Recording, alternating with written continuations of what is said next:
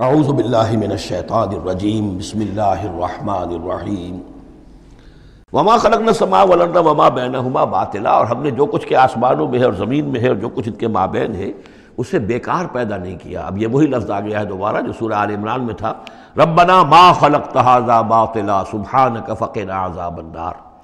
اس کے علاوہ سورہ مومنون میں آ چکا ہے۔ افحسبتم انما خلقناکم عبثا وانکم الینا لا تشعرون۔ لا ترجعون۔ تو یہ عبث اور بیکار کام کرنا اللہ کی شان سے بہت ہی یوں سمجھیے کہ بعید ہے۔ ذالک ظن الذین کفروا، یہ گمان تو ان لوگوں کا ہے جنہوں نے کفر کیا ہے۔ فویل للذین کفروا من النار، تو ہلاکت اور بربادی اور تباہی ہے ان کافروں کے لیے آگ کی۔ ام نجعل الذین آمنوا وعملوا الصالحات کالمفسدین فی الارض۔ ذرا یہ سوچیں، کیا ہم ان لوگوں کو جو ایمان لائے اور جنہوں نے نیک عمل کیے بنا دیں گے ویسا جیسا کہ وہ لوگ ہیں کہ جنہوں نے زمین میں فساد بچایا یعنی یہ سوچو کہ دنیا میں کچھ لوگ ہیں، نیکوکار ہیں، بھلائی کے کام کر رہے ہیں، کچھ ہیں بدماش ہیں، شریر ہیں، بد امنی پیدا کرتے ہیں، لوٹ مار کرتے ہیں، لوگوں پر ظلم کرتے ہیں۔ تو اگر آخرت نہ ہو، تو پھر تو بڑا ظلم ہو گیا۔ یہ نیکوکار تو گھاٹے میں رہ گئے بدماش ایش میں رہے۔ جن کے لیے کوئی سکروپلز نہیں ہے، کوئی اصول نہیں ہے، ان کے لیے نہ دیانت ہے، نہ امانت ہے، کچھ نہیں ہے۔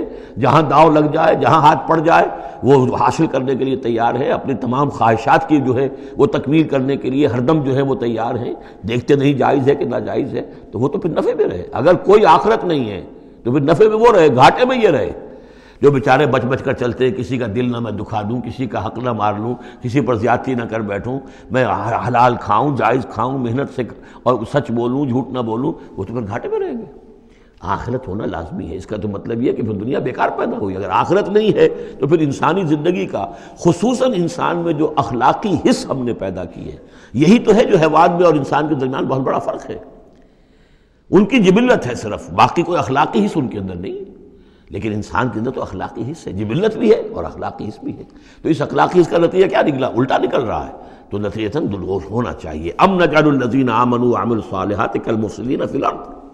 ام نجل المتقین کل فجار کیا ہم اپنے متقی بندوں کو برابر کر دیں گے؟ ان فاجر فاجروں اور فاسقوں کی کتاب انزالناہ الیک مبارک۔ یہ کتاب ہے قرآن۔ جو ہے نبی ہم نے آپ پر نازل کی ہے۔ مبارکن، بہت بابرکت ہے۔ یہ برکت کے لفظ کو یہاں سمجھ لیجیے۔ برکہ عربی زبان میں کہتے ہیں، کسی شے میں سے اس کے خیر کو نکالنے والی شے، وہ برکت ہے۔ وہ شے پوٹینشلی آپ میں ہے، لیکن یہ کہ وہ ڈورمنٹ پڑی ہوئی ہے، سوئی ہوئی ہے، اور اس کو آپ ایکسپلائٹ نہیں کر رہے، استعمال نہیں کر رہے، آپ کو اس کا شعور بھی نہیں ہے، احساس بھی نہیں ہے۔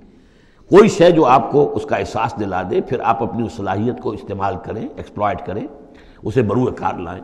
وہ شے برکت والی ہوئی۔ تو یہ لفظ آتا ہے قرآن مجید میں، یا تو بام مبارکہ، باران رحمت، بارش برستی ہے۔ زمین میں وہ پوٹینشل رویدگی موجود ہے ڈورمنٹ ہے، بیج پڑے ہوئے۔ پانی آتا ہے، جذب ہوتا ہے آسموسس شروع ہوتا ہے، پانی داخل ہوتا ہے بیج کے اندر۔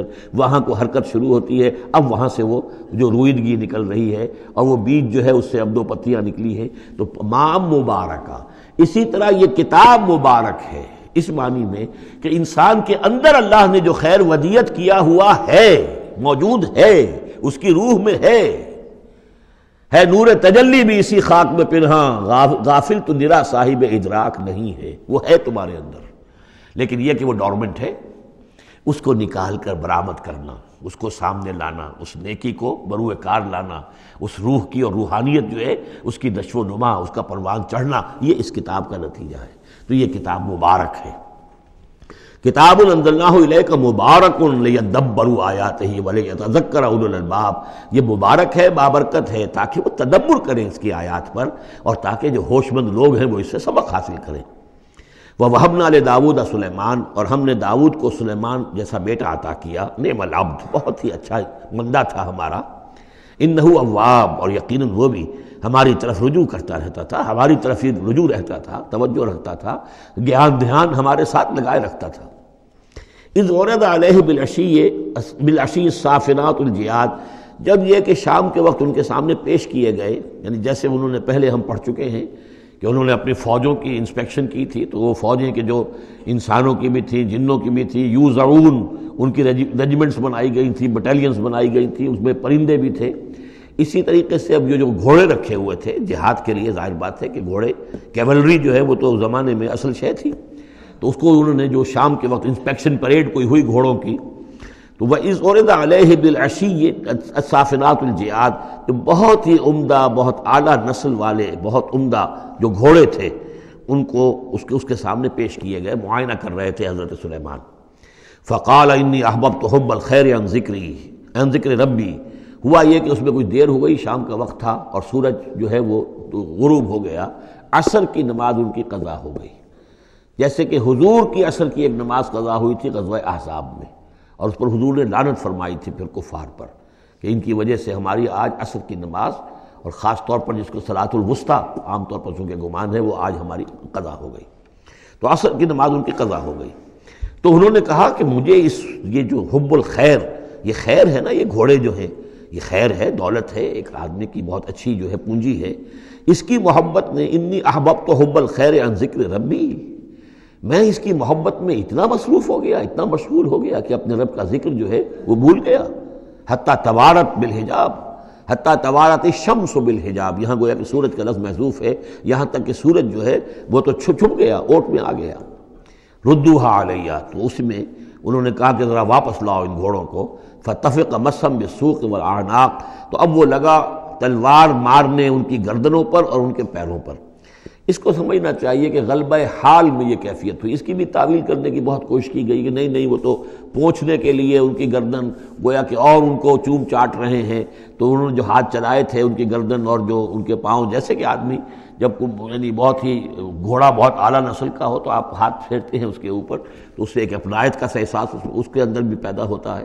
تو یہ جو نہیں، یہ بات نہیں ہے بات سیدھی وہی ہے کہ جو یعنی خام خواہ اس میں ضرورت نہیں ہے۔ جیسے کہ غلبہ حال کسی وقت ہو جاتا ہے، خام خواہ تعویل کی کیا ضرورت ہے؟ جیسے حضرت عمر کا معاملہ ہو گیا تھا کہ غزوہ عہد میں تلوار پھینک کر بیٹھ گئے۔ کہ اب جب محمد ہی قتل ہو گئے صلی اللہ علیہ وسلم تو اب اور کس کے لیے لڑنا ہے؟ حالانکہ لڑنا تو اللہ کے لیے تھا۔ محمد کے لیے تو نہیں لڑنا تھا۔ لیکن ایک طرح طبیعت ہوتی ہے ایک وقت میں، احساسات اور جذبات کا ایسا غلبہ ہو جاتا ہے، وہی غلبہ ان پر ہوا ہے حضور کے انتقال کے وقت۔ وہ بھی تلوار کھینچ کے بیٹھ گئے تھے کہ جو شخص کہے گا کہ محمد کا انتقال ہو گیا گردن اڑا دوں گا۔ وہ تو پھر حضرت ابو بکر آئے ہیں، انہوں نے پھر آ کے خطبہ دیا ہے۔ اور خطبے میں وہ آیت بھی پڑھی ہے، وما محمد اللہ رسول، قد خلط من قبل رسول افائی ماتا قطل قلب تم اللہ قابقم اور ساتھ ہی پھر انہوں نے یہ خطبہ دیا کہ من کانا یابد محمد فن محمد قدمات ومن کانا یابد اللہ فن اللہ حی اللہ یمود کوئی شخص اگر محمد کو پوچھتا تھا، محمد کی عبادت کرتا تھا، تو وہ سن لے، محمد کا انتقال ہو گیا۔ اور جو کوئی اللہ کو پوچھتا تھا اور اللہ کی بندگی کرتا تھا، اس کو جان لینا چاہیے۔ اللہ پر کبھی موت واقع نہیں ہوگی، وہ زندہ رہنے والا ہے۔ تو یہ غلبہ حال کی ایک کیفیت ہے کہ اسی کیفیت میں کہ میری یہ نماز جو ہے، یہ چھوٹ گئی ہے۔ بہرحال یہ دونوں میں نے آپ کے سامنے رکھ دیے ہیں۔ صدق اللہ العظیم۔